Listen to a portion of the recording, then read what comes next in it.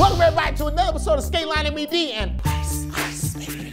Doom doom doom dig a mini ramp.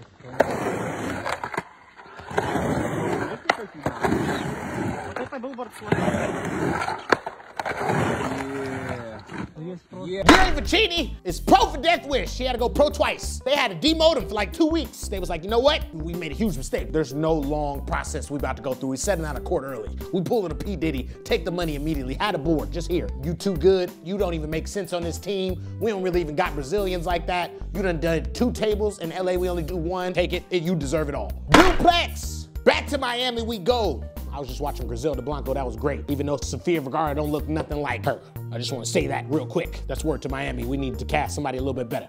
Um, anyways, Jace, you on your way, bro. If you want to wear them silly ass hats and fly, switch Ali as 18 with a Lilo and Stitch beanie, bitch, you deserve your glory days. It's like, what you gonna say? Oh, look at that goofy ass hat. You do it. Go ahead. Go up there.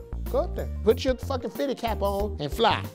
You can't. This week's damn nigga, don't nobody know you yet. You better go fish that out Blank board. You ain't even got no sponsors. Я даю им пламя Они знают, кто я призрак мой Десять лет растает Болеют рэпом, ничего не помогает Пару альбомов бы я хапну себе зам Adidas, let me help you out with some marketing 101. This should have been two tricks, 30 seconds. Kader new shoe out there. No B-sides, no getting the hair twisted, no playing PS5, no bringing your friends, nothing. Like you can't give him the extra time like he's been doing too much. He hasn't lately. Because if you put Kader in two minutes with the way he's had his fans in limbo more than Playboi Carti himself, it's always snippets of the best shit, just never the thing. Like never the thing. It's like, I, Where's it at? Nope. Okay. Maybe he's just trying to keep us strung along, and then one day he gonna be like, "Bitch, here it is," and we all gotta wait for that day. Tyshawn SOTY video is finally here. There's something that could have just been passed down from generations and generations. You told around a campfire, just like one time. There was a SOTY video that never released. It was with kangaroos, koalas, and black people. Nobody thought it was real. It's real.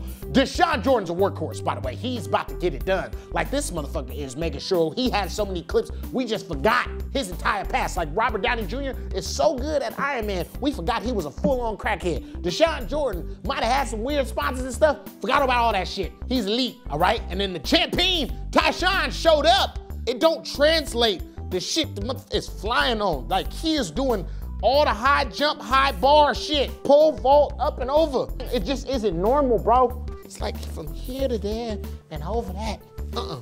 This is good night from another episode of Skateline LBD. And Yuto you might need to shed the Louis V coat and get back in the park, cause Sora is tripping. Another episode of Skateline MD is done.